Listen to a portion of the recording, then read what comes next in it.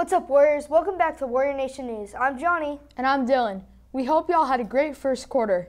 The second quarter is in full swing, and National Junior Honor Society induction was a perfect way to start it off. 39 7th and 8th graders were inducted last week. Here's Lexi with more. Some of our students recently got inducted into National Junior Honor Society. We caught up with a few of them to see what they think. So, Michael, what does it mean to you to be inducted? Well, Johnny, I think it's a real honor to be inducted into NJHS because I'm excited to be uh, a representative of seventh grade and how we get to represent um, all the seventh graders who have achieved high standards in their academic career. So, Ava Drew, how do you feel about being inducted? Uh, I would say it's definitely a real honor. I'm super excited to be a part of NJHS and like all our service projects, and I'm just super excited. What are you most looking forward to during your time in NJHS? I'm looking forward to being able to help and serve all others in our community. How does it feel to be selected for NJHS? It's a big blessing. I'm really excited and I'm really blessed that I got to keep all my grades up for this and I'm excited for all the fun service projects we get to do. So what are you looking forward to about NJHS? Well, first, I'm really excited for the service projects, and I think we have a good opportunity to just get out there and just serve others. Our cross country team just finished an amazing season with a district win. Isaac sat down with some of our amazing runners. Our boys and girls cross country team just won district. They competed at Southwest Christian in Fort Worth on a two mile course. Nolan finished first overall for the boys, and Charlotte finished second overall for the girls. So, Nolan, how does it feel to be the new district champion? Um, it feels good to see my uh, work pay off and the time that I get, and all my teammates that also got good times and uh, did good throughout the season. So, Charlotte, how did it feel to not only break the seventh grade record but the eighth grade record too? It felt really good to just like see all the hard work at practice and having to wake up early, all that paying off, and I really I'm proud of myself of how I ended the season. And Nolan, we know the course and the competition was very stiff. Were you nervous at all? Um, I'm always nervous before any any activity I do, but it's our team helped me in pacing off all the people and like Sawyer and Jacob. They helped me a lot. And Charlotte, we know the rolling hills were pretty tough in the course. How did you handle those challenges? I just did my best to stay pace wise with um, my teammate Camille and used some like stepping stones to help push and keep going. Thank you. I'm Isaac with Warrior Nation News. Thanks, Isaac. Fall sports have officially come to an end, and winter sports are getting started. Let's go to Ella and Lexi for more on sports. Navy Volleyball had their last game of the season on Monday against All Saints and they won. With only losing one game all season, they tied with Prestonwood for first place in district. Way to go, girls. Navy football ended their season this week with two more wins. They beat Southwest Christian on Monday and All Saints on Thursday. They managed to remain undefeated all season. Congratulations, football. As fall sports wrapped up this week, winter sports are just beginning. Basketball tryouts will wrap up today for the girls, and the boys have tryouts next week. Wrestling, soccer, and swimming are also beginning their practices. Our varsity basketball team has a home game next Tuesday at 1 p.m., and middle schoolers are in invited to come cheer them on if your teacher says it's okay. That's all for sports. I'm Lexi. And I'm Ella. Now back to you at the desk. Thanks, Lexi and Ella. Dylan, I heard there's a pep rally today. Yep, Johnny.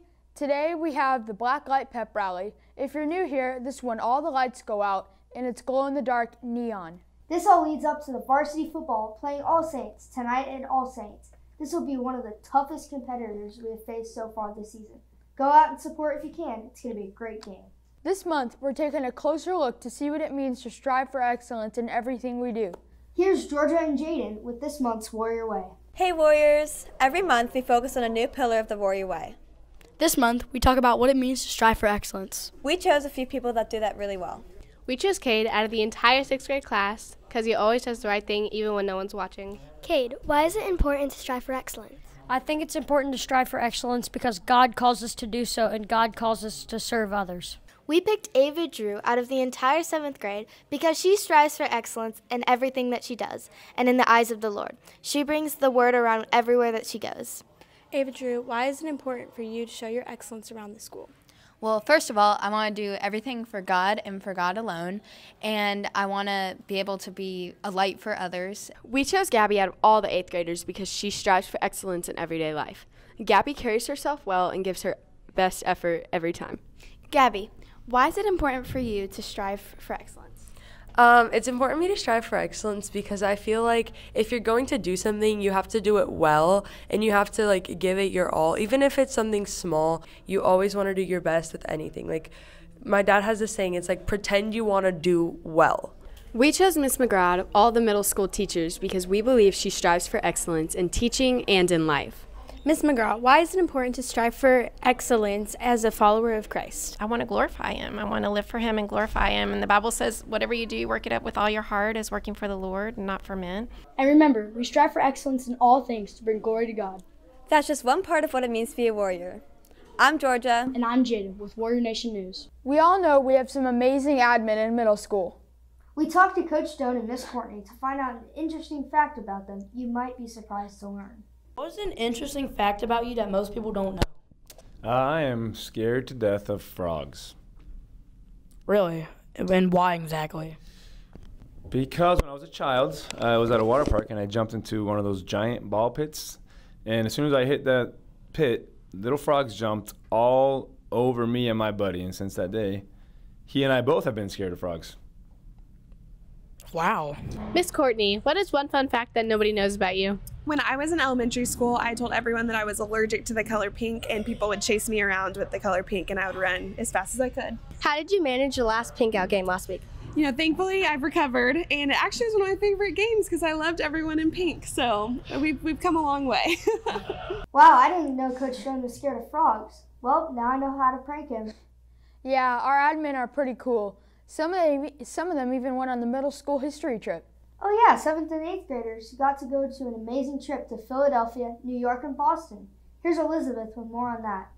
Hey Warriors, some of your seventh and eighth graders just got back from the history trip. I was on it and it was so much fun, but we caught up with some of the others to see how it went. Sophia, what was the most interesting thing that you did on the history trip? I think the coolest thing that we did was we went to the 9 11 Museum and Memorial, which was really impactful. It still had the foundation of the Twin Towers. And I think it really gives you a different outlook on life, how those people, like some people, really sacrificed their lives so that more people could live. And I think that really shows you how God's love is truly everywhere. Riker, what is something you found interesting on a history trip? Uh, I found that George Washington actually slept uh, in a tent with all his soldiers and it just kind of explains like God is on the front line when we're fighting Satan.